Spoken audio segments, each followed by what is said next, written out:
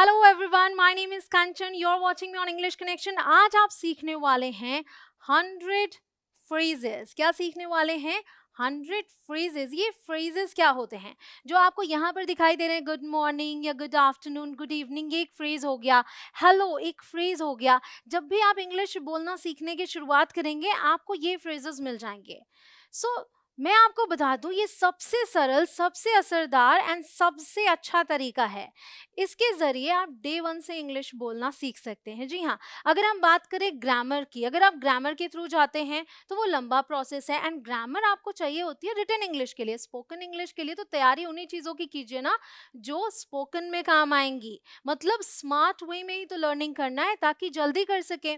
अगर hard work और smart work को हम कंपेयर करते हैं तो सबके प्रेफरेंसेज अलग अलग अलग हैं। लेकिन स्पोकन इंग्लिश की अगर हम बात करते हैं तो सबसे अच्छा एंड स्मार्ट वे क्या है कि आप डे वन से बोलना शुरू करो, क्योंकि आपको बोलने की प्रैक्टिस करनी है। और उसके लिए फ्रेजेस बहुत बहुत बहुत ज़्यादा इंपॉर्टेंट हैं। Thank you sorry excuse me ये सभी फ्रेजेस हैं और आपको पता है।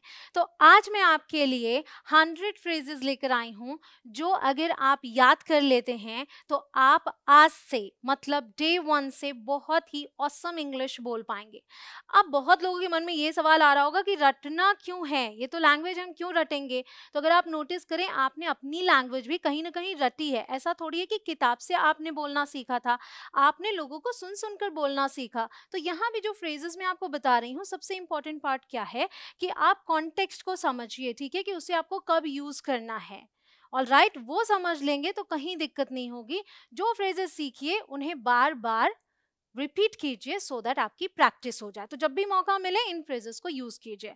तो अगर मैं बात करूँ, कभी भी बात शुरू करना है, शुरुआत कहाँ से होती है? ग्रीटिंग से। कहाँ से?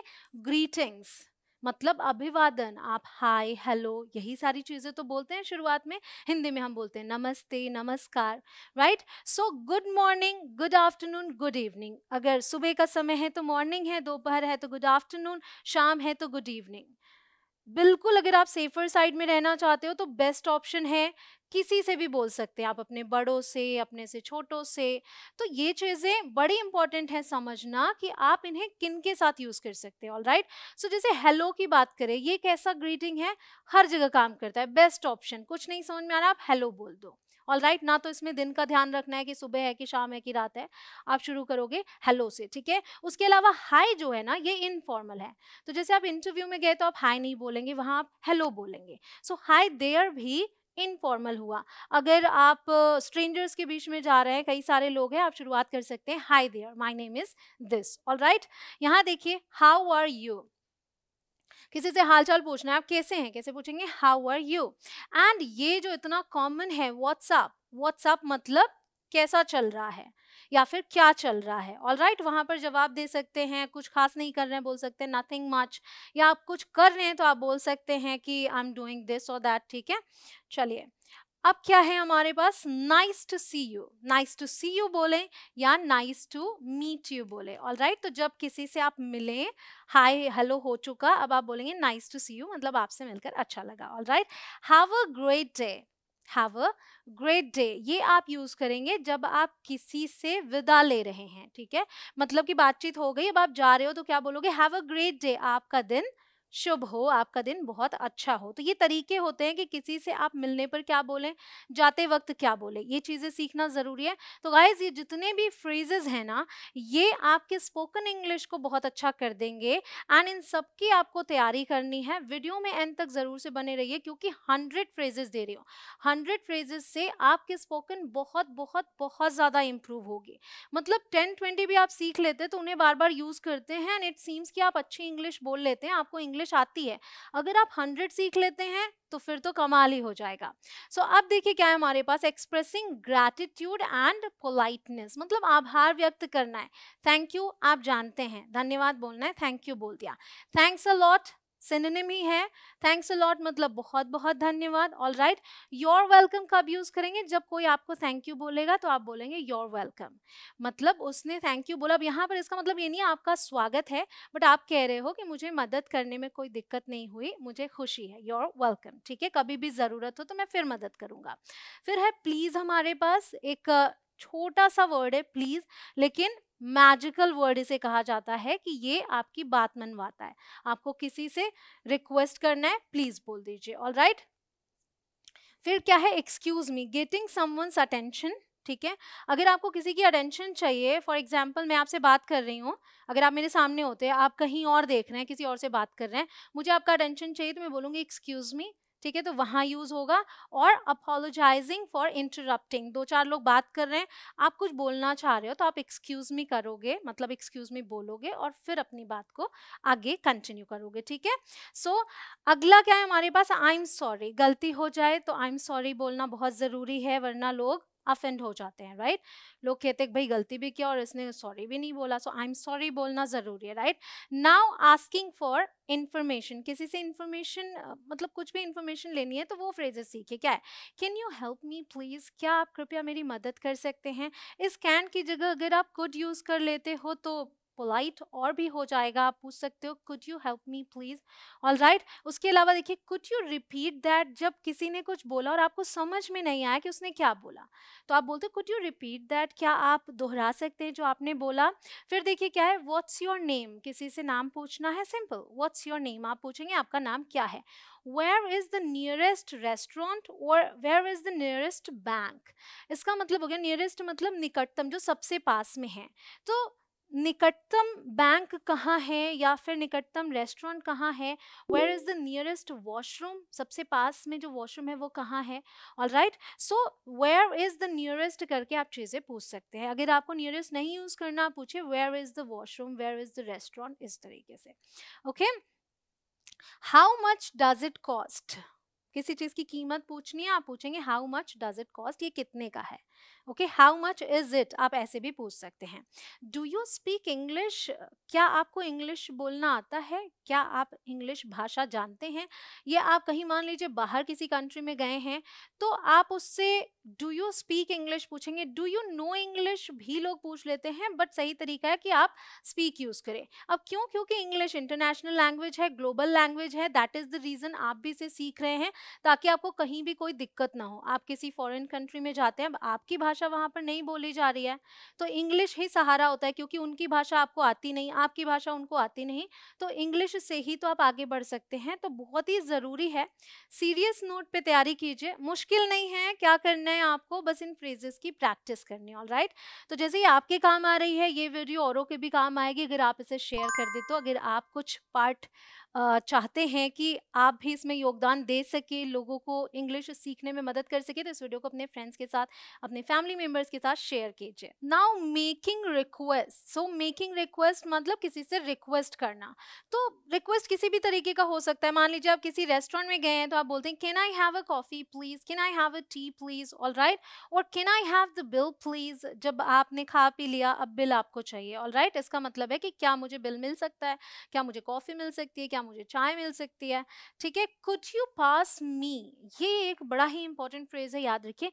Could you pass me something मतलब क्या आप कृपया उस चीज़ को मेरी तरफ़ दे सकते हैं? So could you pass me the salt नमक है डाइनिंग पे आप बैठे हैं तो आपने किसी से मांगा, ठीक है? Could you pass me the newspaper मतलब न्यूज़पेपर रखा है कोई, वहाँ पास में बैठा है, आप दूर हो, आप बोलते हो कि क्या आप मुझे वो दे सकते हैं? न्यूज़पेपर मुझे दे सकते हैं? Could you pass me the newspaper all right ये बड़ा इंपॉर्टेंट फ्रेज है, देखिए would you mind doing something यहाँ पे था कुड यू डू समथिंग यहाँ है would you mind doing something तो फ़र्क क्या है वुड यू माइंड जब आप यूज़ करेंगे तो ये आई एन जी लगा दीजिएगा, ठीक है वर्ब में। So would you mind closing the door आपको कोई दिक्कत तो नहीं होगी, आप दरवाज़ा बंद कर देंगे प्लीज़ ओके okay? इस तरीके से। तो आप देखो ना कि आप ऐसे भी बोल सकते थे प्लीज़ क्लोज द डोर और could you please close the door एक ये तरीका और हो गया वुड यू माइंड और भी polite right and would you mind turning down the music अब कोई म्यूज़िक तेज सुन रहा है ठीक है आप कहते हो would you mind turning down the music आपको कोई दिक्कत तो नहीं होगी अगर आप म्यूज़िक को थोड़ा कम कर दें। पॉसिबिलिटी क्या लग रही है ऐसे बोलने में कि हाँ वो बंदा कर देगा राइट तो ये मैजिक है पोलाइट वे में बोलने का। और राइट right, फिर हमारे पास कौन से फ्रेजेस हैं? एक्सप्रेसिंग अग्रीमेंट एंड डिसअग्रीमेंट मतलब सहमति दर्शाना और असहमति दर्शाना ठीक है? यस दैट साउंड्स गुड मतलब आप सहमत हो उस चीज़ से। किसी ने कोई प्लान शेयर किया कुछ सजेस्ट किया आप कहते हो यस दैट साउंड्स गुड हाँ। सही लग रहा है ओके आई अग्री मतलब मैं सहमत हूँ। फिर क्या है? नो no प्रॉब्लम मतलब कोई दिक्कत नहीं है, सही है ओके okay? फिर I am not sure about that यहाँ पर आप क्या दिखा रहे हो? एक्सप्रेसिंग एक्सप्रेसिंग अनसर्टेनिटी ओके मतलब कि आप अनिश्चितता दर्शा रहे हो। I am not sure about that पक्का यकीन नहीं है मुझे उसके बारे में या उस बारे में, ठीक है? फिर आई डोंट थिंक सो मुझे ऐसा नहीं लगता। यहाँ भी आप कंप्लीटली अग्री नहीं कर रहे हो ऑल राइट right? या फिर डिसअग्री आप बोल सकते हो, कैसे? आई डिसअग्री मतलब मैं असहमत हूँ। ये थोड़ा स्ट्रेट फॉरवर्ड हो गया all right I disagree I don't think so I am not sure about that बड़े ही काम के फ्रेजेस हैं आपके लिए।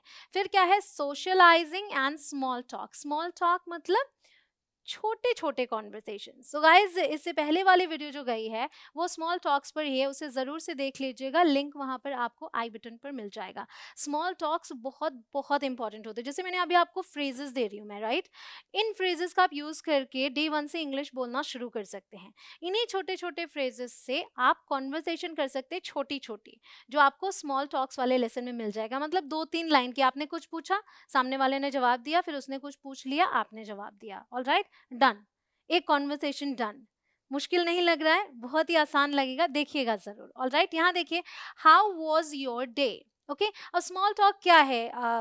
ऑफ़िस uh, से पापा घर आ रहे हैं आप पूछ सकते हो how was your day daddy okay, कि आपका दिन कैसा था, ठीक है? या फिर आप अपने किसी कॉलीग से पूछ सकते हैं। What did you do over the weekend अब ये आप मंडे को पूछोगे। वीकेंड मतलब सैटरडे संडे अब आप अपने कॉलीग से मंडे को क्या पूछते हो? What did you do over the weekend weekend में तुमने क्या किया? ठीक है? So share whatever you did okay share with me now where are you from ये भी एक स्मॉल uh, टॉक ही कह सकते हैं। अगर आप पूछेंगे तो वेयर आर यू फ्रॉम पूछेंगे वो बताएगा वो कहाँ से है फिर आपसे पूछेगा। मे बी कॉन्वर्सेशन आगे बढ़ जाए। प्रैक्टिस तो आप ऐसे ही करेंगे ना तो इन सभी फ्रेजेस की प्रैक्टिस आपको कैसे करनी है? जब भी मौका मिले बोलना है। तो आप मोस्टली ये किसी स्ट्रेंजर से पूछेंगे where are you from okay आप कहाँ से हैं? सो so, किसी से बात शुरू करना है तो कर सकते हैं ऐसे। Do you have any plans for tonight आप अपने किसी फ्रेंड से पूछ सकते हैं कि आज रात के कुछ प्लान्स हैं क्या तुम्हारे? Do you have any plans for tonight तो चलो दोनों लोग चलते हैं। All right right? नाउ और भी हैं हमारे पास इसी कैटेगरी uh, के अंदर phrases what do you like to do for fun आप सिंपली पूछ सकते हैं व्हाट आर योर हॉबीज मतलब आपकी हॉबीज क्या है? आपको क्या चीज़ें पसंद हैं? आप ऐसे भी पूछ सकते हैं what do you what do you like to do for fun मतलब फन के लिए तुम क्या करना पसंद करते हो? किस चीज़ में मज़ा आता है राइट दैट्स इंटरेस्टिंग ये एक फ्रेज है जो ये दिखाता है कि आप कॉन्वर्सेशन में रुचि रख रहे हो, आप सामने वाले को सुन रहे हो तो जब वो कोई बात शेयर कर रहा है आपसे तो आप बोलते हो दैट्स इंटरेस्टिंग ऑल राइट ये रोचक है, आप ध्यान दे रहे हैं। हाँ हम्म ये सारी चीज़ें हैं जो आप यूज़ करते हैं किसी को सुनते वक्त राइट फिर हमारे पास सेइंग गुड बाय तो जब आपकी बातचीत हो गई, अब बाय बोलना है तो सिंपल अगर आप सेफर साइड में रहना चाहते हैं गुड बाय बोल लीजिए फॉर्मल हो इनफॉर्मल हो, सब जगह चल जाएगा। जो फॉर्मल है, वो इनफॉर्मल में भी चलता है, ये समझिएगा। लेकिन जो इनफॉर्मल है, वो फॉर्मल में नहीं चलता। मतलब जैसे आप अपने फ्रेंड से, अपने छोटे भाई बहन से या फिर आपके जो एज ग्रुप के लोग हैं, उनसे बात करते हैं, वैसे आप अपने बॉस से बात नहीं करते। आप अपने कॉलीग से फिर भी अगर ऑफ़िस में नहीं है, बाहर हैं तो कर लेते लेकिन ऑफ़िस में एक फॉर्मल सेटिंग होती है, हम उन चीज़ों को प्रॉपर लेकर चलते हैं, राइट? सो गुड बाय हर जगह चलता है। See you later informal way of saying good bye ठीक है? सी यू लेटर मतलब बाद में मिलते हैं या कहीं ना कहीं ये है कि हाँ फिर मिलेंगे। All right take care take care एक तरीका है जब आप किसी से कॉन्वर्सेशन एंड कर रहे हैं तो बोलिए टेक केयर मतलब अपना ख्याल रखना।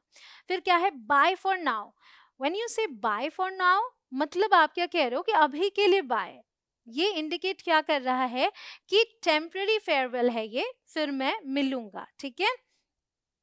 हैव अ गुड वन इसका मतलब है आपका दिन शुभ हो, आपका दिन अच्छा हो। हैव अ गुड वन ये एक इनफॉर्मल तरीका हुआ। जैसे आप बोलते हैं ना हैव अ गुड डे तो उसी चीज़ को हम वन के साथ भी बोल सकते हैं। All right right? तो अपने फ्रेंड्स के साथ यूज़ करें स्मॉल टॉक में यूज़ करें।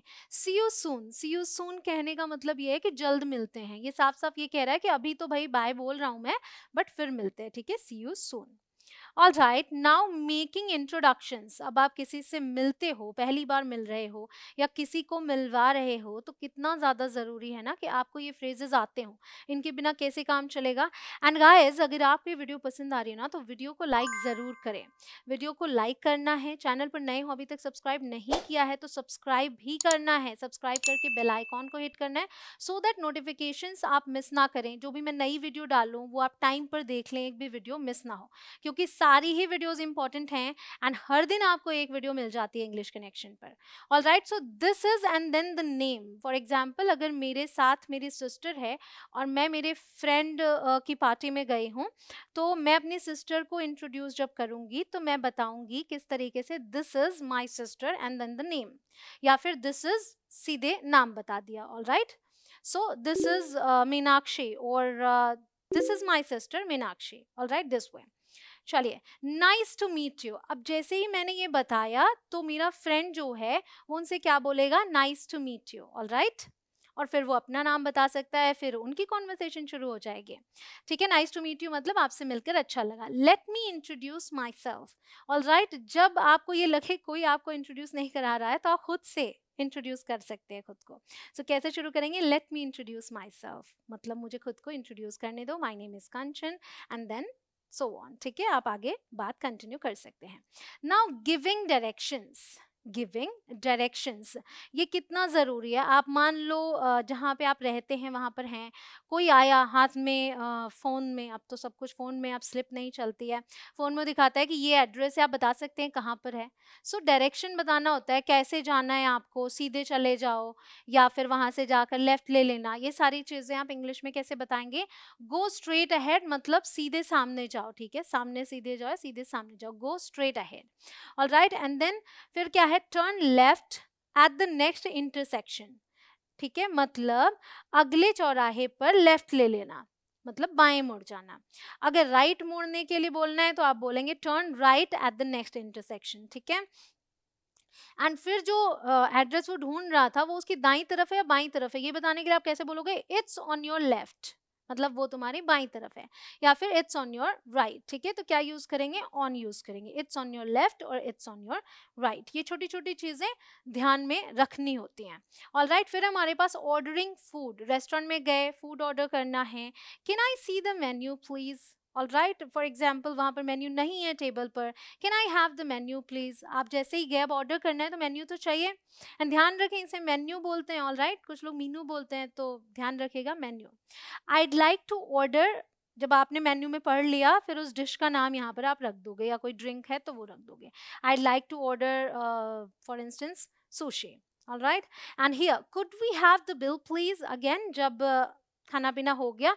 अब आपको बिल चाहिए कि भाई कितना खर्च हुआ, क्या बोलोगे आप? Could we have the bill please all right now we have expressing preferences कोई चीज़ अगर आप प्रेफर करते हैं इसका मतलब ये है कि दूसरी चीज़ से ज़्यादा पसंद करते हैं उस चीज़ को राइट? तो अगर दो चीज़ें हैं एक आप प्रेफर कर रहे हो तो उसको दूसरी चीज़ से ज़्यादा पसंद कर रहे हो। सो so, ये हम कैसे बताएँगे? I prefer option A over option B यहाँ पर आप अपनी पसंद की चीज़ डाल लेंगे। तो टी और कॉफ़ी में कंपेयर कर लेते हैं किसी को टी पसंद होता है किसी को coffee. For instance not for instance for real मुझे चाय पसंद है टी पसंद है। आप मुझे कॉमेंट्स में बताओ कि आपको टी पसंद है या कॉफ़ी पसंद है ऑल राइट एंड इसी तरीके से सेंटेंस में लिखना है आपको मतलब ये फ्रेज यूज़ करना है। I prefer tea over coffee all right I prefer tea over coffee अगर आपको कॉफ़ी पसंद है तो आप बोलोगे I prefer coffee over tea all right comment section में फॉर श्योर sure लिखना ही लिखना है। All right I am not really अच्छा एक चीज़ और है, अब आपको टी कॉफ़ी नहीं पसंद है, फिर आप क्या लिखोगे? तो आप वो बता देना। ऑल राइट ऐसा ज़रूरी नहीं है कि टी और कॉफ़ी ही बताओ। चलिए I am not really a big fan of something तो फॉर एग्ज़ाम्पल मुझे कॉफ़ी बहुत पसंद नहीं है तो मैं बोल सकती हूँ I am not really a big fan of coffee all right मतलब मुझे कॉफ़ी बहुत पसंद नहीं है। ठीक है, चल जाता है। Now I love something so I love tea okay यहाँ पर टी कॉफ़ी का एग्ज़ाम्पल लिया है, आप चाहे जो एग्ज़ाम्पल ले लें। And speaking of comment section guys अगर आपको ऐसी वीडियोस और चाहिए तो आप कमेंट सेक्शन में लिख सकते हैं, दिल मांगे मोर। तो जब आप कमेंट्स में जाएँगे, आपको ये हर जगह दिखेगा, दिल मांगे मोर, दिल मांगे मोर। तो ऐसे आप सोचिएगा मत कि ये क्या है। जो मेरे सब्सक्राइबर्स ऑलरेडी हैं जो मुझे पहले से देख रहे हैं वो जानते हैं इसका मतलब। तो आप भी इस चीज़ को समझिए दिल मांगे मोर मतलब ऐसी वीडियोस और चाहिए। दिल को ऐसी वीडियोस की और ज़रूरत है। All right right. uh, अब हम बात करेंगे टॉकिंग अबाउट वेदर फ्रेजेस ठीक है? मतलब कि ऐसे फ्रेजेस जो आप वेदर के लिए यूज़ कर सकते हो। इट्स सनी टुडे वहाँ पर टुडे इट्स सनी टुडे मतलब आज धूप है, फिर बोलना है, आज बादल अगर दिख रहे हैं तो आप बोलोगे मतलब बदली है जिसे बोलते हैं, आज बदली है तो आप बोलोगे it's cloudy today all right and बारिश वगैरह हो रही है तो आप बोलोगे it's rainy today okay so it's से शुरुआत करेंगे। ओवरऑल मैं कहना ये चाह रही हूँ कि जब हम वेदर की बात करते हैं तो हम इट्स से सेंटेंसेस बनाते ठीक है? It's rainy today it's cloudy today it's sunny today all right it's cold today आज ठंड है। इट्स सो हॉट आउटसाइड अब बाहर का ज़िक्र कर रहे हैं, बाहर बहुत गर्मी है। इट्स सो कोल्ड आउटसाइड बाहर बहुत ठंडी है। All right looks like it's going to rain it's going to rain मतलब देखकर ऐसा लग रहा है कि बारिश होने वाली है। Looks like it's going to rain nice one अब है ऑफरिंग हेल्प कौन से फ्रेजेस यूज़ करेंगे? हेल्प ऑफ़र कर रहे हैं। My favourite can I give you a hand तो जैसे आप पूछते हैं can I help you okay can I help you do you want my help तो आप ऐसे भी बोल सकते हैं can I give you hand मतलब क्या मैं आपकी मदद कर दूँ? तो किसी को ऑफ़र कर रहे हैं, ये यूज़ कीजिए। Let me know if you need anything मतलब मुझे बताइएगा, अगर आपको किसी चीज़ की ज़रूरत हो तो मुझे बताइएगा, ठीक है? Let me know if you need anything इसको एज इट इज़ आप रट लें। एंड ये आपके फॉर्मल इंग्लिश में बहुत काम आएगा फॉर्मल सेटिंग्स में all right I am here if you need me अगर आपको मेरी ज़रूरत पड़ती है तो मैं यहीं हूँ। मतलब I am available I am ready to help you so whenever you need me I am here okay I am here if you need me चलिए अपोलोजाइजिंग फॉर बींग लेट ये तो कॉमन सी बात है लेट हो जाते हैं लोग right right? So so, अगर लेट हो जाते हैं आप लेट हो रहे हो तो आप बोलोगे, sorry I am running late for example office शुरू हो रहा है दस बजे और आपको घर से निकलना होता है साढ़े नौ बजे और अभी पौने दस हैं, आप घर से निकल ही नहीं पाए हो या फिर ट्रैफ़िक में फंसे हुए हो तो आप फ़ोन करके बोल सकते हो, sorry I am running late मतलब मुझे देर हो रही है ऑलरेडी मैं देर हो चुकी हूँ, मुझे देर हो चुकी है, अभी टाइम लगेगा पहुँचने में, ठीक है? अब पहुँच गए वहाँ पर तो क्या एक्सक्यूज़ दे रहे हैं? ट्रैफ़िक वॉज़ टेरेबल मतलब बहुत ज़्यादा जाम था। Traffic was terrible, okay? I'll make sure to be on time next time okay okay? अब आप कह रहे हो कि मैं सुनिश्चित करूँगी कि अगली बार मैं समय पर आऊँ। तो अभी यहाँ पर आपने बताया कि आप लेट हो, यहाँ पर आके आपने एक्सक्यूज दिया, फिर भी अगर आपको डांट पड़ रही है बॉस बोल रहे हैं कि ऐसा दोबारा नहीं होना चाहिए तो आप बोल रहे हो I make sure to be on time next time all right वैसे क्या आपके साथ ये अक्सर होता है कि आप लेट होते हैं? मुझे कमेंट्स में बताइएगा। बाय द वे पंक्चुअल होना बहुत ज़रूरी है ओके टाइम से पहुँचे be on time expressing surprise आप कोई चीज़ देख के बिल्कुल आश्चर्यचकित हो। कैसे उसको दर्शाओगे? कैसे बताओगे? ओ wow okay so this is the best one oh wow जो तुरंत मुँह से निकलता है। Then I can believe it मुझे विश्वास नहीं हो रहा है। I can't believe it okay then that's incredible ये अविश्वसनीय है। आप बहुत चक्के रह जाते हो कुछ देख के। That's incredible all right. Now, making small talk in elevators, okay?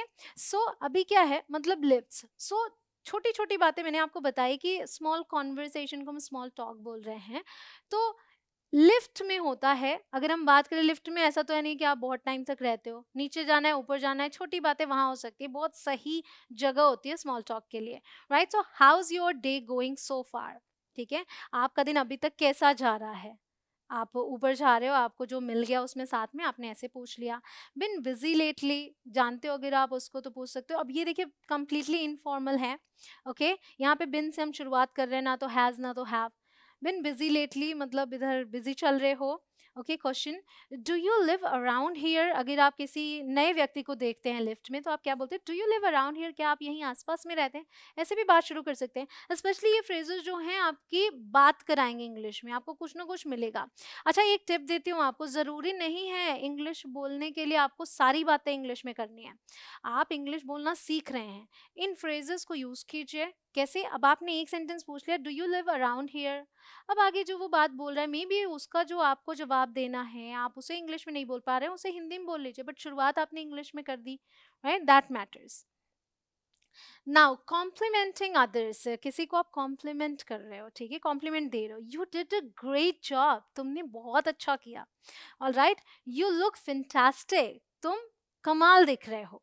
You look fantastic now accepting compliments मतलब किसी ने आपको कॉम्प्लीमेंट दिया तो आप उसे कैसे ले रहे हो? मतलब कैसे आप उस पर बोलोगे? क्या बोलोगे? थैंक यू सबसे पहले तो थैंक यू बोला भाई, उन्होंने आपकी तारीफ़ की, आपने थैंक यू बोला.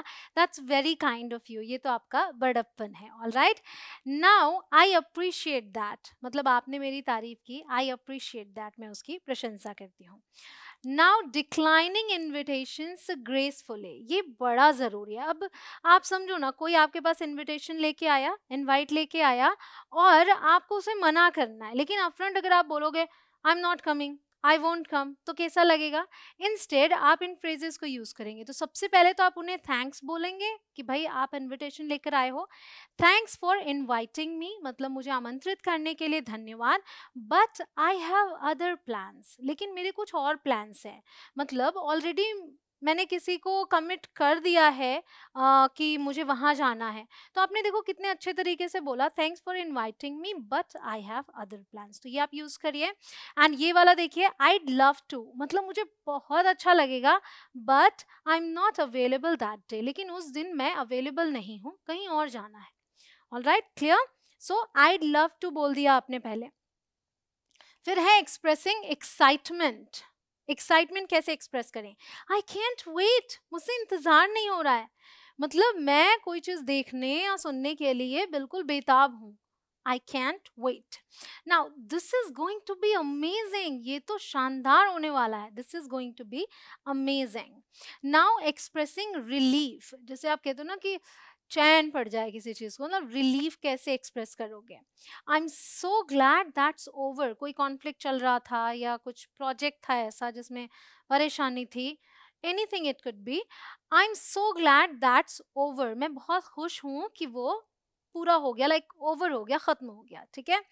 What a relief what a relief कितना इसे हम हिंदी में कैसे बोलते कितना सुकून मिल रहा है। What a relief okay?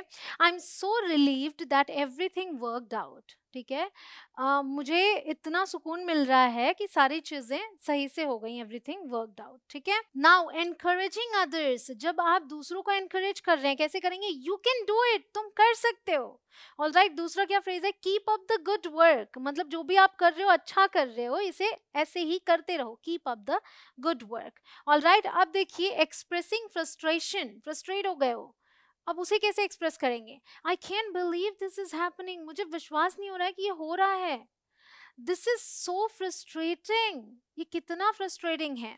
All right now expressing satisfaction संतुष्टि कैसे आप एक्सप्रेस करते हैं? That's exactly what I wanted ये बिल्कुल वैसा ही है जैसा मुझे चाहिए था। आप बिल्कुल कंटेंट हो, संतुष्ट हो सेटिस्फाइड हो। इट टर्न आउट परफेक्टली मतलब बिल्कुल सही तरीके से हुआ। All right right? चलिए नेक्स्ट एक्सप्रेसिंग डाउट आपको डाउट एक्सप्रेस करना है संदेह शक। All right are you sure about that आपको पक्का यकीन है उस बारे में? Are you sure about that okay I am not entirely convinced मैं पूरे तरीके से कन्विंस्ड नहीं हूँ। मतलब आप कुछ और बताओ बिकॉज़ uh, मुझे तो डाउट है भाई। नाउ एक्सप्रेसिंग डिसअपॉइंटमेंट निराशा कैसे व्यक्त करें? I am really disappointed about something जिसके बारे में आप निराशा व्यक्त कर रहे हैं, वो आप यहाँ पर लिखेंगे, ठीक है? It's not what I expected, ये वैसा नहीं है वो नहीं है जैसा मैंने सोचा था, ठीक है? जो मुझे लग रहा था कि होगा। It's not what I expected. Now giving advice, किसी को सलाह देना है, यू शुड ट्राई दिस। तुम्हें ये आजमाना चाहिए, you should try this, okay? If I were you, I'd do something. इस ये जो फ्रेज है, इसे आप याद कर ले इफ़ आई वर यू मतलब अगर मैं तुम्हारी जगह होता या मैं तुम होता। If I were you I make a lot of changes मैं बहुत बदलाव करती, ठीक है? अगर मैं आपकी जगह होती। If I were you I do something यहाँ जो ड है, ये वुड है एक्चुअली आई वुड ठीक है? So if I were you I would do something आप ऐसे याद रखेंगे। नाउ एक्सप्रेसिंग इंटरेस्ट रुचि आपको बताने किसी चीज़ में। दैट साउंड फैसिनेटिंग ठीक है? बड़ा ही फैसिनेटिंग साउंड कर रहा है। मतलब बहुत अच्छा लग रहा है सुन के। I love to learn more about that कैसे आप इंटरेस्ट दिखा रहे हो? I love to learn more about that मुझे उस बारे में और जानकर अच्छा लगेगा। मतलब और बताइए आप मुझे इस बारे में, ठीक है? Now expressing enthusiasm I am really excited about something I am really excited about the trip about the tour all right काफ़ी एक्साइटेड है आप तो ये यूज़ करेंगे। I can't wait to get started मुझसे इंतज़ार नहीं हो रहा है इसे शुरू करना है जल्दी से जल्दी, ठीक है? I can't wait to get started now asking for permission आपको किसी से परमिशन लेनी है। Is it okay if I do something is it okay if I call you at night all right क्या ठीक है? अगर ठीक रहेगा अगर मैं आपको रात में कॉल करूँ तो या इस टाइम कॉल करूँ तो is it okay if I do this? Okay do you mind if I do something? Do you mind if I close the window? आपको uh, कोई दिक्कत तो नहीं हो जाएगी अगर मैं विंडो बंद कर दूँ तो? Okay? Now expressing disapproval. I don't think that's a good idea. ठीक है? सो इसका मतलब हो गया कि मुझे नहीं लगता कि ये अच्छा उपाय है या अच्छा विचार है। I am not really comfortable with that मैं उससे कम्फर्टेबल um, नहीं हूँ ठीक है? I am not really comfortable with that so so guys ये थे hundred phrases rather more than hundred तो इनकी आपको करनी है प्रैक्टिस जैसे ये फ्रेजेस आपके स्पोकन इंग्लिश को इम्प्रूव करेंगे द सेम वे फ्रेजेस और जो डेली यूज़ सेंटेंसेस होते हैं, वो आपको मिल जाएँगे बहुत सारे मेरे 5000 daily use English sentences book में. ये बुक अवेलेबल है अमेजोन फ्लिपकार्ट आपके आसपास के स्टोर्स में और तो और मेरे एप्लीकेशन में भी अवेलेबल है.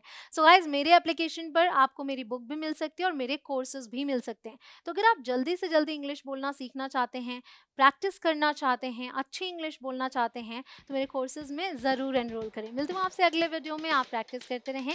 जय हिंद।